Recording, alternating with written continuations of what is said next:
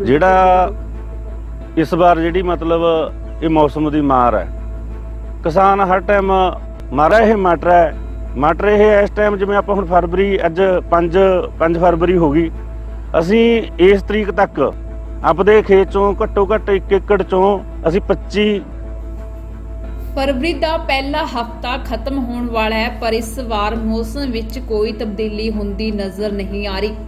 ਜੇਕਰ ਸਵੇਰ ਦੀ ਗੱਲ ਕਰੀਏ ਤਾਂ ਧੁੰਦ ਦਾ ਕਹਿਰ ਲਗਾਤਾਰ ਜਾਰੀ ਹੈ, ਜਿਸ ਦਾ ਅਸਰ ਸਭ ਤੋਂ ਵੱਧ ਕਿਸਾਨਾਂ ਦੀਆਂ ਫਸਲਾਂ ਤੇ ਪੈ ਰਿਹਾ ਹੈ। ਨਵੰਬਰ ਅਤੇ ਦਸੰਬਰ ਵਿੱਚ ਸਰਦੀ ਦਾ ਮੌਸਮ ਕਣਕ ਦੀ ਫਸਲ ਲਈ ਲਾਹੇਵੰਦ ਹੁੰਦਾ ਹੈ, ਪਰ ਜੇਕਰ ਫਰਵਰੀ ਵਿੱਚ ਵੀ ਮੌਸਮ ਵਿੱਚ ਕੋਈ ਤਬਦੀਲੀ ਨਾ ਆਵੇ ਤਾਂ ਹੁਣ ਕਣਕ ਦੀ ਫਸਲ ਨੂੰ ਭਾਰੀ ਨੁਕਸਾਨ ਹੋ ਰਿਹਾ ਹੈ। ਇਸ ਤੋਂ ਇਲਾਵਾ ਸਬਜ਼ੀਆਂ ਦੀ ਕਾਸ਼ਤ ਕਰਨ ਵਾਲੇ ਕਿਸਾਨਾਂ ਨੂੰ ਲਗਾਤਾਰ ਭਾਰੀ ਨੁਕਸਾਨ ਝੱਲਣਾ ਪੈ ਰਿਹਾ ਹੈ। ਇਹ ਮੌਸਮ ਦੀ ਮਾਰ ਹੈ। ਕਿਸਾਨ ਹਰ ਟਾਈਮ ਮਾਰਾਂ ਚੱਲਦਾ ਹੀ ਹੁੰਦਾ ਹੈ।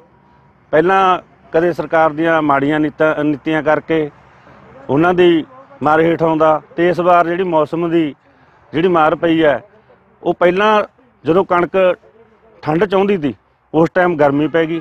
ਗਰਮੀ ਕਰਕੇ ਉਹਦੇ ਬੂਟੇ ਦਾ ਵਿਕਾਸ ਨਹੀਂ ਹੋਇਆ। ਤੇ ਉਸ ਤੋਂ ਬਾਅਦ ਦੇ ਵਿੱਚ ਜਦੋਂ ਅਸੀਂ ਕਣਕਾਂ ਤੇ ਫਿਰ ਨਦੀਨਨਾਸ਼ਕ ਸਪਰੇਹਾਂ ਕੀਤੀਆਂ, ਉਸ ਤੋਂ ਬਾਅਦ ਚ ਉਹਨੂੰ ਪਾਣੀ ਲੱਗਿਆ, ਪਾਣੀ ਲੱਗਣ ਤੋਂ ਬਾਅਦ ਬੱਤ ਆਉਣਾ ਜ਼ਰੂਰੀ ਹੁੰਦਾ ਹੈ। ਵੱਤ ਆਉਂਦਾ, ਜਿਉਂ-ਜਿਉਂ ਖੇਤ ਫਿਰ ਉਹ ਨਦੀਨ ਹੈ ਜਿਹੜਾ ਸੁੱਕਦਾ। ਉਸ ਤੋਂ ਬਾਅਦ ਚ ਹੁਣ ਆ ਕੇ ਇਹ ਕੋਹਰਾ ਪੈਣ ਲੱਗ ਗਿਆ ਤੇ ਸੂਰਜ ਨਿਕਲ ਨਹੀਂ ਰਿਹਾ। ਸੂਰਜ ਦੇਖੇ ਨੂੰ ਤਾਂ ਹੁਣ 20-25 ਦਿਨ ਹੋ ਗਏ ਸੂਰਜ ਦਿਖਾਈ ਉਹ ਨਹੀਂ ਦਿੱਤਾ। ਉਹ ਜਿਹੜਾ ਨਦੀਨ ਹੈ, ਉਹ ਨਦੀਨ ਵੀ ਨਹੀਂ ਮਰਿਆ। ਉਹਨੂੰ ਕਣਕ ਨੂੰ ਪੂਰੀ ਉਸ ਦੀ ਮਾਰ ਹੈ। ਤੇ ਉਸ ਤੋਂ ਬਾਅਦ ਜਿਹੜੀ ਅਸੀਂ ਸਬਜ਼ੀ ਲਾਈ ਹੋਈ ਹੈ, ਜਿਵੇਂ ਮਟਰ ਹੋ ਗਏ, ਆਲੂ ਹੋ ਗਏ, ਆਲੂਆਂ ਨੂੰ ਵੀ ਪਹਿਲਾਂ ਜਦੋਂ ਠੰਡ ਚਾਹੀਦੀ ਸੀ, ਉਦੋਂ ਠੰਡ ਨਹੀਂ ਪਈ। ਉਹਨਾਂ ਦਾ ਵਿਕਾਸ ਘੱਟ ਹੋਇਆ। ਉਹਦਾ ਵੀ ਘੱਟੋ ਘੱਟ 30-40% ਜਿਹੜਾ ਝਾੜ ਘਟਿਆ। ਤਾਂ ਮਟਰਾਂ ਦੇ ਉੱਪਰ ਕਿੰਨਾ ਨੁਕਸਾਨ ਆ, ਜਿਵੇਂ ਤੁਸੀਂ ਦੱਸ ਰਹੇ ਹੋ? ਜਿਹੜਾ ਇਹ ਮਟਰ ਹੈ, ਮਟਰ ਇਹ ਇਸ ਟਾਈਮ ਜਿਵੇਂ ਆਪਾਂ ਹੁਣ ਫਰਵਰੀ, ਅੱਜ 5 5 ਫਰਵਰੀ ਹੋ ਗਈ, ਅਸੀਂ ਇਸ ਤਰੀਕ ਤੱਕ ਆਪਦੇ ਖੇਤ ਚੋਂ ਘੱਟੋ ਘੱਟ 1 ਏਕੜ ਚੋਂ ਅਸੀਂ 25 ਕੁਆਂਟਲ ਜਾਂ 30 ਕੁਆਂਟਲ ਦਾ ਗੇੜ ਅਸੀਂ ਮਟਰ ਲੈ ਲੈਂਦੇ ਤੇ। ਜਿਹੜਾ ਕਿ ਅਸੀਂ 1 ਕੁਇੰਟਲ ਵੀ ਨਹੀਂ ਇਸ ਵਾਰ ਤੋੜਿਆ ਜੀ।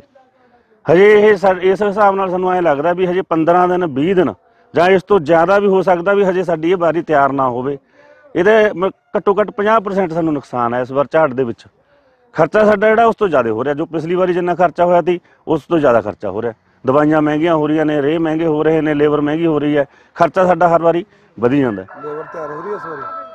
ਲੇਬਰ ਉਰੇ ਜਦੋਂ ਅਸੀਂ ਹੁਣ ਲੇਬਰ ਕੋਲੇ ਜਾਂਦੇ ਆ ਵੀ ਮਾੜਾ ਮੋਟਾ ਦੇ ਵਿੱਚ ਦੇਖ ਲਓ ਜਿੰਨਾ ਕੁ ਹੈਗਾ ਪਹਿਲਾਂ ਵਾਲੀ ਵਾਰੀ ਲੱਗੀ ਹੋਈ ਹੈ ਤਾਂ ਉਹ ਜਦੋਂ ਆਉਂਦੇ ਨੇ ਉਹਨਾਂ ਨੂੰ ਲੱਭਦਾ ਨਹੀਂ ਉਹ ਲੇਬਰ ਹੈ ਜਿਹੜੀ ਉਹ ਕੰਮ ਕਰਨ ਨੂੰ ਵੀ ਤਿਆਰ ਨਹੀਂ ਹੈਗੀ ਵੀ ਸਾਨੂੰ ਇਹਦੇ ਚੋਂ ਬਣਦਾ ਨਹੀਂ। ਕਮਿਸ਼ਨ ਤੇ ਕੰਮ ਕਮਿਸ਼ਨ ਤੇ ਕੰਮ ਕਰਦੇ ਨੇ ਉਹ ਕਿੱਲੋਂ ਦੇ ਹਿਸਾਬ ਨਾਲ ਤੋੜਦੇ ਨੇ ਤੇ ਉਹ ਵੀ ਪੂਰਾ ਖੁਸ਼ ਹੋ ਕੇ ਕੰਮ ਨਹੀਂ ਕਰ ਰਹੇ ਇਸ ਵਾਰ। ਠੀਕ ਹੈ ਕਿੰਨਾ ਕੁ ਲੇਟ ਹੋ ਗੰਨਾ ਇਤੀ ਘੱਟੋ ਘੱਟ ਲਓ ਵੀ ਤੁਸੀਂ ਮਹੀਨੇ ਦੇ ਕਰੀਬ 20 ਦਿਨਾਂ ਦੇ ਕਰੀਬ ਲੇਟ ਵਗ ਗਿਆ ਸਾਡਾ ਗੰਨਾ। ਹੁਣ ਤੱਕ ਅਸੀਂ ਤਾਂ ਮਿੱਠਾ ਕੱਢ ਲੈਣਾ ਸੀਗਾ। ਅਸੀਂ ਜਨਵਰੀ ਦੇ ਐਂਡ ਵਿੱਚ ਅਖੀਰਲੇ ਹਫ਼ਤੇ ਜਾਂ ਫਰਵਰੀ ਦੇ ਪਹਿਲੇ ਹਫ਼ਤੇ 'ਚ ਇਹਦਾ ਗੰਨਾ ਮਿੱਠ- ਗੁੜ ਸ਼ੱਕਰ ਬਣਵਾ ਲੈਣੇ ਆ।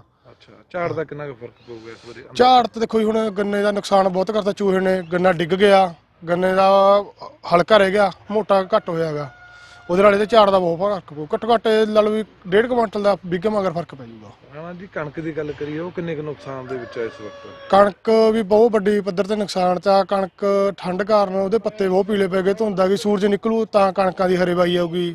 ਹਰੇਬਾਈ ਆਊਗੀ ਤਾਂ ਉਹਦੇ ਵਾਧਾ ਹੋਊਗਾ ਤੇ ਉਹਦੀ ਬੱਲੀ ਵਧੀਆ ਲਾਊਗੀ ਹੁਣ ਜਦ ਤੱਕ ਧੁੱਪਾਂ ਨਿਕਲਦੀਆਂ ਕਣਕ ਬਸ ਮਗਰ ਛੋਟੇ ਜਿਹੇ ਕੱਦ ਦੀ ਖੜੀ ਹੈਗੀ। ਕਣਕ ਕੋਈ ਕੱਦ ਨਹੀਂ ਕਰ ਰਹੀ ਵਧੀਆ ਤੇ ਪੀਲੀ ਪੈਣ ਲੱਗੀ ਕਣਕ। ਲੱਗਦਾ ਕਿ ਜਿਵੇਂ ਮੌਸਮ ਲਗਾਤਾਰ ਚੱਲ ਰਿਹਾ ਵੱਡਾ ਨੁਕਸਾਨ ਝੱਲਣਾ ਪੈਣਾ।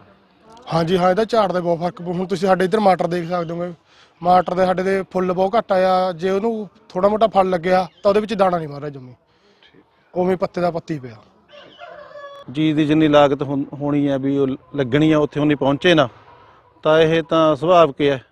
ਵੀ ਉਹਦਾ ਰੇਟ ਤਾਂ ਆਪਦੇ ਆਪ ਵਧ ਹੀ ਜਾਂਦਾ ਹੈ ਚੀਜ਼ ਦਾ। ਪਰ ਜੇ ਮਟਰਾਂ ਵਾਲਾ ਆਪਾਂ ਦੇਖੀਏ, ਜਿਵੇਂ ਸਾਨੂੰ ਪਤਾ ਹੈ ਇਸ ਫਸਲ ਦਾ, ਵੀ ਜਿੰਨਾ ਕੁ ਸਾਡਾ ਪਿਛਲੇ ਸਾਲ ਰੇਟ ਚੱਲਦਾ ਸੀ ਉਹਨਾਂ ਕੇ ਰੇਟ ਇਸ ਵਾਰ ਸਾਨੂੰ ਮਿਲ ਰਿਹਾ ਕੋਈ ਉਦੋਂ ਜ਼ਿਆਦਾ ਵੱਧ ਨਹੀਂ ਹੈਗਾ ਜੇ ਫਸਲ ਨਹੀਂ ਵੀ ਹੈਗੀ ਤਾਂ ਵੀ।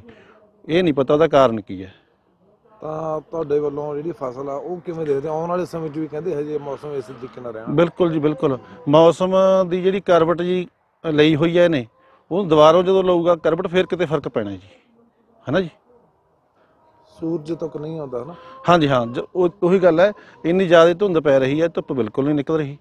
ਜੇ ਧੁੱਪ ਨਿਕਲੂਗੀ ਤਾਂ ਹੀ ਕਿਤੇ ਫਸਲ ਨੂੰ ਮਾੜਾ ਮੋਟਾ ਜਾ ਕੇ ਉਹਨੇ ਆਪਦੀ ਜੋ ਦਾਣਾ ਦੂਣਾ ਬਣਨਾ ਹੈ ਉਦੋਂ ਬਣਨਾ ਹੈ ਜੀ ਜਾ ਕੇ ਜੇ ਧੁੱਪ ਨਿਕਲੂਗੀ। ਠੀਕ ਹੈ। ਹਾਂਜੀ ਹਾਂਜੀ।